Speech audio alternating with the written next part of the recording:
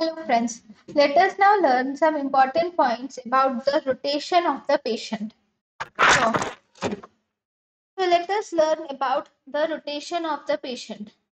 So the first question is when do you say that the patient is not rotated?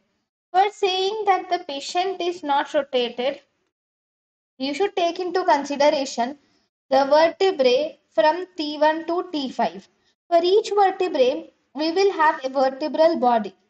So from T1 to T5, you will have to take the center of the vertebral body and you will have to draw the line keeping the center of the vertebral axis vertebral body has axis. So if you see, these are the centers of the vertebral body. First five, T1 to T5 and through this center of the vertebral body, you will draw a straight line which is passing through the center of vertebral body. Then you will see where the medial end of the clavicle lies.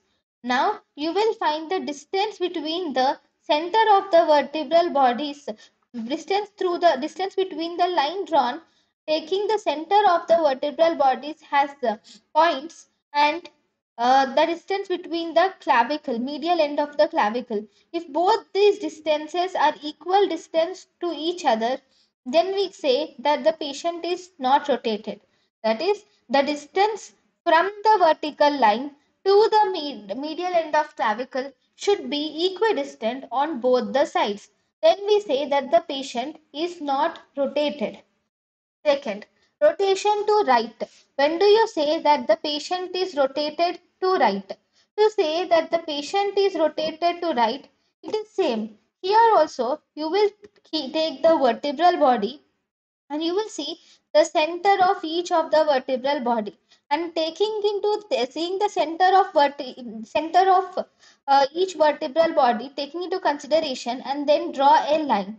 Once you have drawn a line keeping this center of vertebral body has axis now you will see the medial end of the clavicle.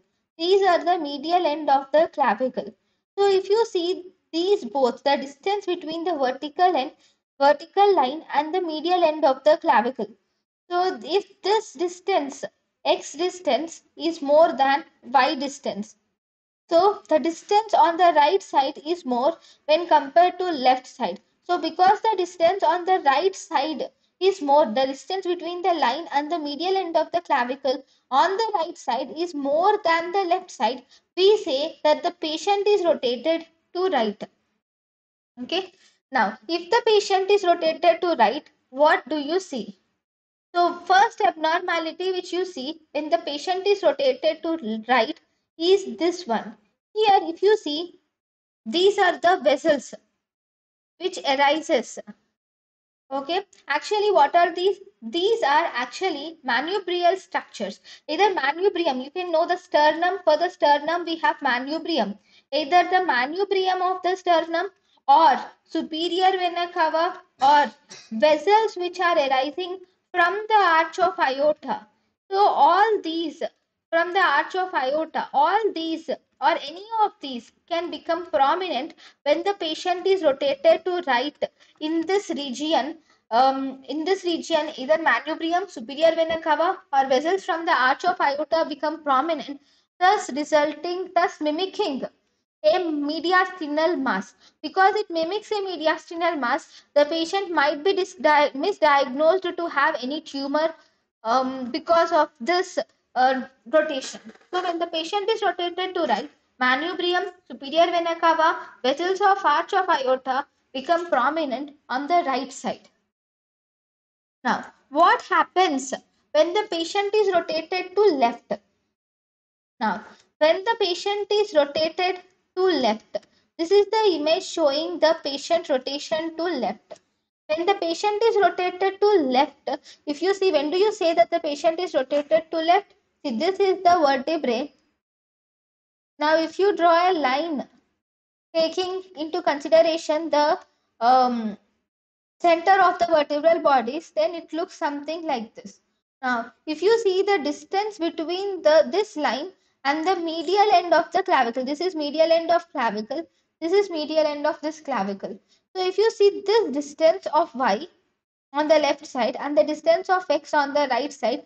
So the distance between this vertical line and the medial end of clavicle is more on the left side when compared to right. So when this distance is more on the left side when compared to right, then we say that the patient is rotated to the left. Okay. What happens when the patient is rotated to the left? First and foremost thing is this is the aortic arch. Actually aortic arch is completely normal. But because the patient is rotated to left, the aortic arch will appear to be, it actually appears to be enlarged. Second, one more important thing is if you see this lung on the left side is a little blacker when compared to the right side. Actually, it is not even blacker, but normally in some x-rays, this rotation may cause one lung to appear blacker. The one lung may appear, it may appear blacker when compared to the left, uh, opposite lung. It may appear blacker when compared, compared to the opposite lung just because of this rotation defect. So, what are the common causes of rotation? So, when can the rotation occur? The causes of rotation, if you see, rotation can occur whenever the patient is drowsy because he cannot stand properly or if the patient is ill. Ill adults where they find difficulty to stand or even in little children who are very difficult to handle or maintain the position, in them the rotation can be decreased, can be, the rotation can be seen. Thank you.